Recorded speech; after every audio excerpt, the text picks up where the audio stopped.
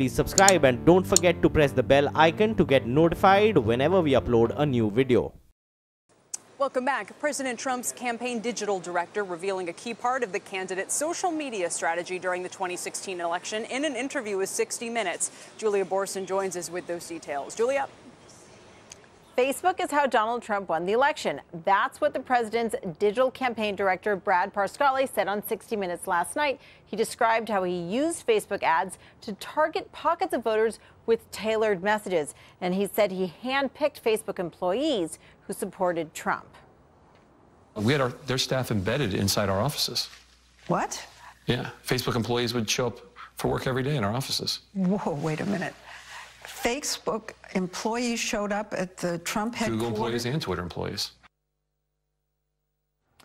Facebook refuting Parscale's comments, saying it offered identical to support and tools to both the Trump and the Clinton campaigns, saying, quote, the campaigns did not get to handpick the people who worked with them from Facebook, and no one from Facebook was assigned full time to the Trump campaign or full time to the Clinton campaign. Both campaigns approach things differently and use different amounts of support. Now, this comes as the Washington Post reports that Google has uncovered evidence that Russian agents spent tens of thousands of dollars on ads to spread disinformation across Google's many products, including YouTube, Google Search, and Gmail. Now, with all these revelations, Senators Amy Klobuchar and Mark War- Warner plan to introduce legislation later this month required, requiring greater disclosure about political ads. Kelly, back over to you. All right, keep an eye out for that, Julia. Thank you. Broader question Is Facebook positioning itself as a business or as a full fledged media company? And should it be held to certain standards? Joining us now is Alan Murray, editor from Fortune, and Joe Yakuel, CEO of Agency Within, an in house digital marketing agency. Um, guys, thank you both for being here. And Alan, I feel like you can kind of represent the old world, you know, newspapers. magazine. Wait, what's the old you know, world stuff, Kelly? me- media. Well, I, I kind of feel like I do too in a weird way. But anyway, um, is there, when I hear these stories about Facebook, I keep thinking to myself, is it a media company or is it a business? And I- to me, I it's a don't huge even think- distinction, but what do you think? I don't think it's a serious question. Look, I was running the Pew Research Center four years ago when we put out the report showing that more than half of the people in the country get news off of Facebook.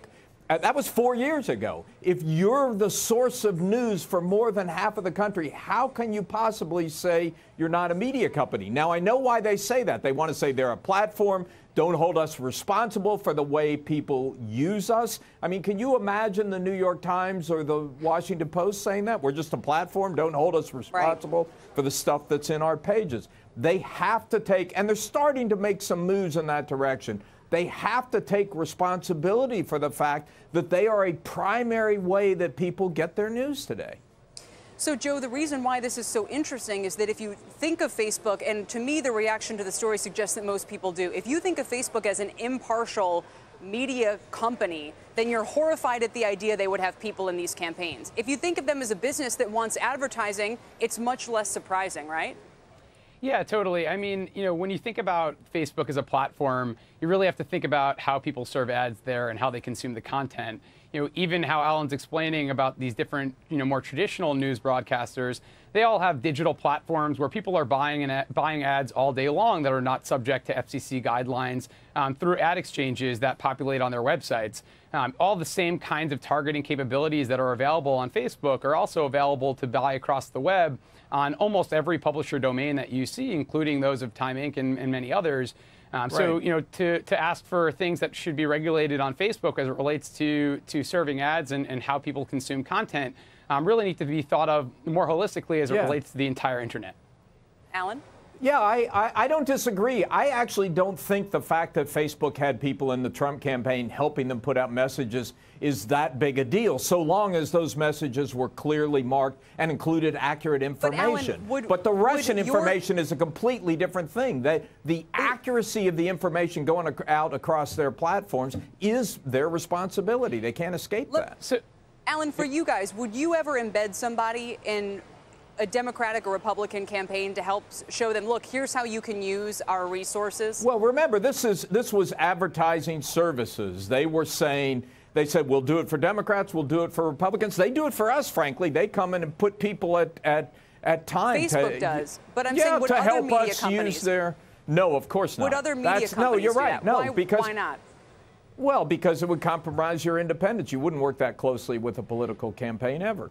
Yeah, but let's And talk about this word embed. I mean, I, I think this word embed is, is taken a little bit too far in terms of what's actually happening here. I mean, we have people from Google, Facebook, Twitter, Pinterest, and many others who will come to our agency's office. We'll go to theirs. Um, our clients will come with us, or they'll come to our clients. Uh, and at the end of the day, we're, we're doing this in order to better utilize the platforms, better utilize the technology so that we can do better marketing for our clients. And, and that's really what it's all about. And I think, you know, if you were a political campaign going to a publisher, whether it was, you know, Alan's or many others, and asked them for advice on how to better utilize their platforms to serve better ads or get better targeting or to get better performance out of it, I'm sure they would all be more than willing to give a helping hand. And whether that's in person or not, I don't You know, think is really relevant yeah. here. I I mean, Kelly, this is this is going to irritate a lot of Democrats, understandably, but I don't think this is the real problem Facebook faces. The real problem Facebook faces is the Russian information. It's one thing to do this for a political candidate in the United States. It's another thing for your platform to be used to spread disinformation by foreign agents. Yeah, Let and me I just think ask when, you one last thing. We got we got to go. But Alan, let me just ask you one last thing. What if Facebook is the newsstand, and what if on that newsstand they have all sorts of legitimate papers and they have all sorts of trashy, glossy magazines, and they carry foreign language newspapers with a different point of view than American ones?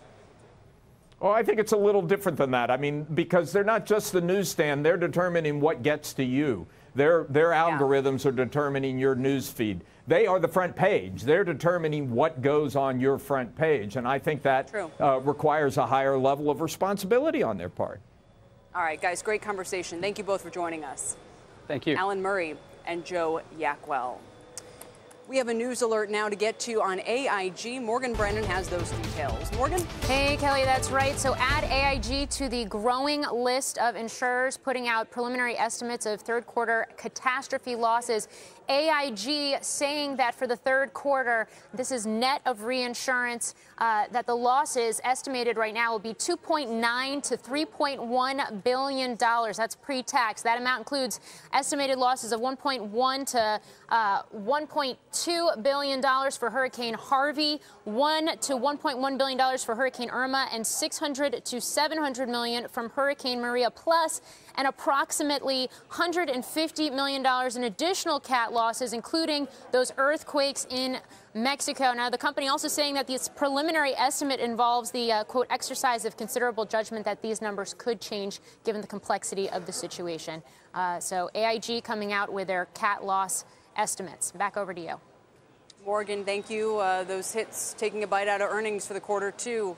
Uh, for the whole S&P 500. Anyhow, China and South Korea already taking a hard line against initial coin offerings. Now, a major hedge fund manager is taking their side and has a word of warning for investors. We're going to have that right after this.